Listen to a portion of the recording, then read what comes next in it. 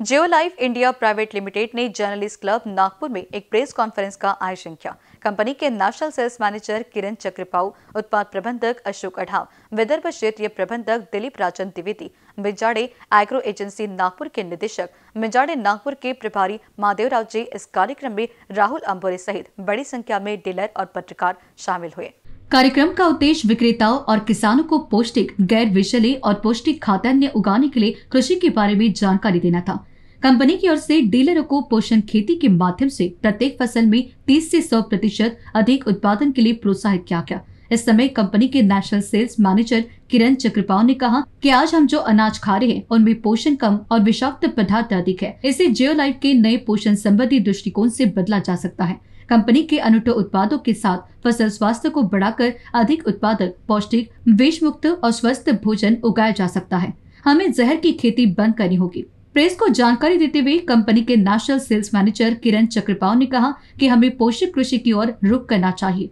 भोजन में जहरीले रसायनों के कारण कैंसर जैसी खतरनाक बीमारियाँ तेज़ी से बढ़ती है। जियो लाइफ ने इन बीमारियों की रोकथाम के लिए अपनी उन्नत तकनीक और नए उत्पाद विकसित किए हैं।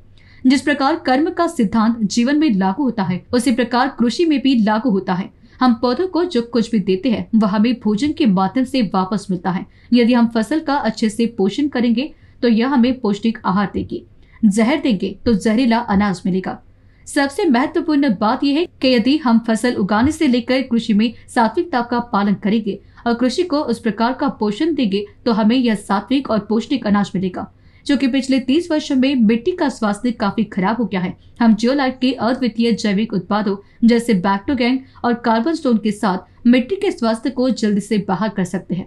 कंपनी पूरे भारत और दुनिया भर के 40 से अधिक देशों में अपने उत्पाद बेचती है।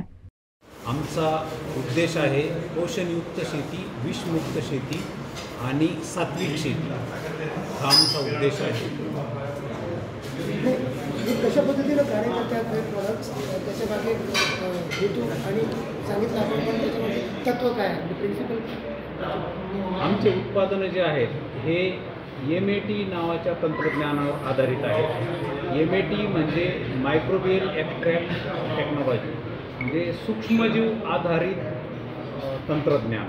या तंत्रज्ञानावर ते आधारित आहे आणि ते जमिनीची सुपीकता वाढवतात पिकांना पोषण देतात आणि पिकाची प्रतिकारशक्ती वाढवतात. जेणेकरून पिकावर होणारे दुष्परिणाम टाळले जातात पिकावर येणारे कीटक आणि पिकावर येणारे बुरशीजन्य रोग याचा प्रादुर्भाव थांबवला जातो आणि त्या रोग आणि कीटकांप्रती पिकामध्ये प्रतिकारशक्ती वाढवण्यासाठी हे तंत्रज्ञान कार्य करतं. सांगा किती जुनी आहे आणि किती वर्षांचा अनुभव आहे. आणि या तंत्रज्ञानाचे आपण आमच्या कंपनीचा साधारणतः पन्नास वर्षाचा प्रवास आहे. त्यामध्ये नवीन तंत्रज्ञानावर आधारित उत्पादने आम्ही गेल्या पंधरा वर्षापासून शेतकऱ्यांपर्यंत देत आहोत. आणि आमच्याकडे साधारणतः सहाशे लोकांचा कर्मचाऱ्यांचा आमच्याकडे को कोटा आहे जो शेतकऱ्यांपर्यंत जाऊन शेतकऱ्यांना मार्गदर्शन करतो आणि कंपनीचे उत्पादन कंपनीची धोरणं शेतकऱ्यांपर्यंत पोहोचतो.